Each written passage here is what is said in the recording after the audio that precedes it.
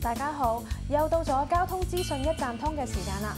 柳 sir 啊，今集咧会同大家介绍边啲嘅交通资讯呢？l o u l l 今集咧会同大家讲下车辆停泊米啲位嘅相关问题。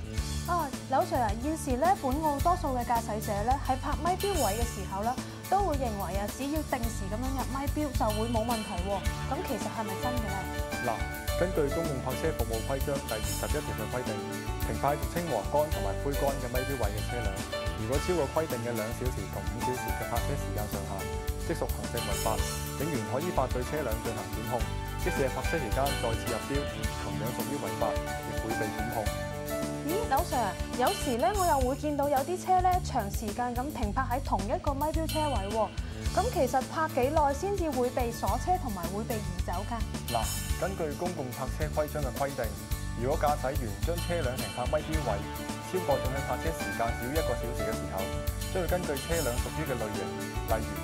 单车、轻型汽车或者重型汽车，分别会被科处澳门费五十、七十五及一百五十嘅罚款。咁而当超过准许发车时间嘅一个小时或者以上，电单车、轻型汽车或者重型汽车，分别会被科处澳门费一百、一百五十及三百蚊嘅罚款，同埋会被锁车，并且锁车三小时之后，将会由发车公司移走有关车辆。所以喺呢度提醒各位车主同埋营商单位，要识法定嘅手法，唔好为咗一己之利而违法停泊车辆。或者占用公共地方，就唔应该滥用车位，而对其他市民出行构成影响。喂，阿明，我今日冇揸车，放工车埋我得唔得先？梗系冇问题啦，我架车泊咗喺公司附近嘅咪表位嗰度，放工一齐攞车啦。咦，下边有停车场，点解你唔泊嘅？好似会抄牌喎，听讲超时仲会锁碌喎。哇，弊，真系好似唔惊有咪表添，而家落去睇下。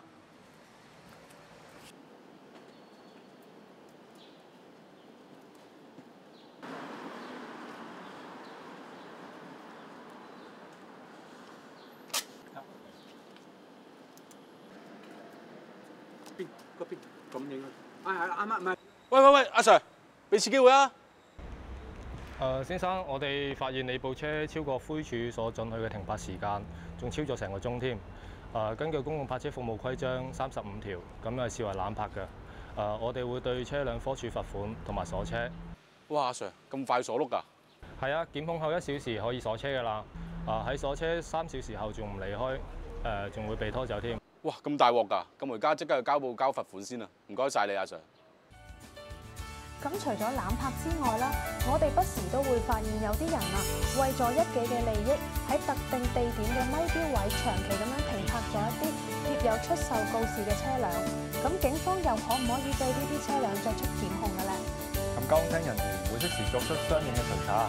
咁而言，当呢啲车辆嘅使用者系依法使用咪表位，即使喺车内贴有出售嘅告示，警方亦唔会因为呢个理据而作出检控。咁但系当违反泊车规章嘅相关规定案件，亦都会被检控同埋移走相关嘅车辆。咁根据《現行道路交通法》嘅规定，咁电单车系禁止运载未满六岁嘅小童，亦都禁止喺座位以外，咁例如电单车嘅前踏板嘅位置载客。如果违反上述规定，可被科處澳门币六百蚊嘅罚款。另外，即使小童年满六岁，咁如果身形细小未能够坐稳，咁都应该尽量避免乘坐电单车，以免发生意外。各位家长，为咗小朋友嘅安全，开车前记得小心留意啦。系啊，遵守交通规则，为己又为人。今集嘅节目时间到啦，下集再同大家介绍交通安全嘅知识啦。拜拜。Thank you.